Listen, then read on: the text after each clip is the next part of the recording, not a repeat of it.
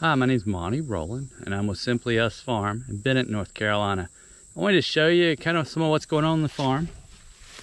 We are starting to concentrate on the orchard part of the farm this year, so not as many row crops. You saw our potato class. One thing we did do was plant pumpkins. One of the cool things about pumpkins is they're pretty robust. They grow fast. I mean, you look at the size of that leaf, it's pretty big which is really cool. Some of the pumpkins are doing better than others. You can see here our daikon.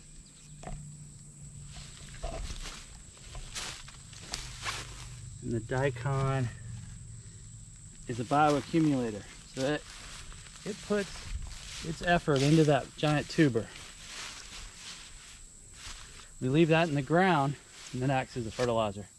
You can see here, this pumpkin is just running, running, and running, running. Another pumpkin.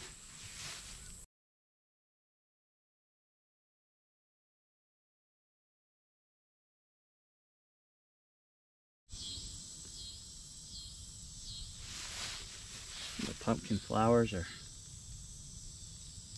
opening up. Hopefully we'll have some pumpkins. One of the things that we tried this year was to mix cover crops and pumpkins. So you can see the sorghum Sudan grass mix. And we started, there's buckwheat in there too. So it buckwheat grew and then the Sudan grass outgrew it. There's a little bit of buckwheat left over there. And right there is baby pumpkin.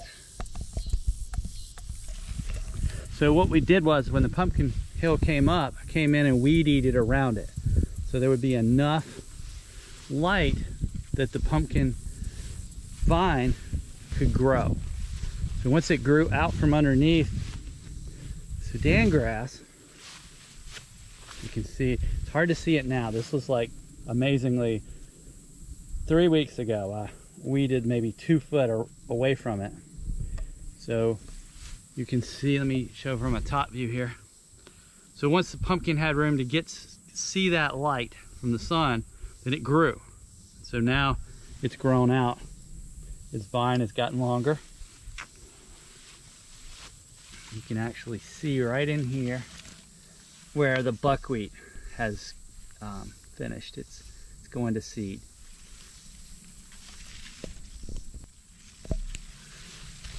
This is kind of where we are right now in the year where like I said, this year I've been trying to concentrate on improving the property and starting to work on our orchard more. Um, our fig trees are doing well. This area right here, we've we've grown sweet potatoes here and we've grown some different stuff here. But as the fig trees get bigger, it gets more difficult to mow between this crop row and the trees. And also too, their root system's gonna spread and we won't, don't wanna disturb that root system. So any type, they're fairly close to the top, any type of tilling could be tough on the figs. So what we're gonna do is that we're gonna put goumi berries. So they're nitrogen fixers. So the plan is to put it halfway between, kind of at a 45 degree angle here. So one goumi berry will fix nitrogen for four figs.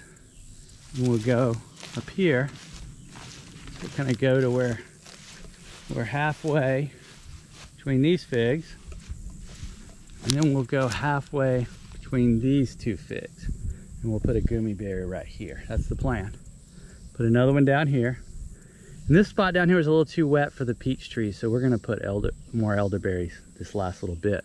But that way these goumi berries will feed um, these fig trees. And hopefully That'll be a much better arrangement. And then the other thing we'll do is to come back and plant comfrey around all of this. So we, we're, we have a living mulch and then we're also adding the goumi berries to uh, fix nitrogen and provide that to the plants. And there are figs everywhere around me, which is just wonderful. They're not quite ready yet. And because we have different types of trees, figs look very different. So like these figs are almost black.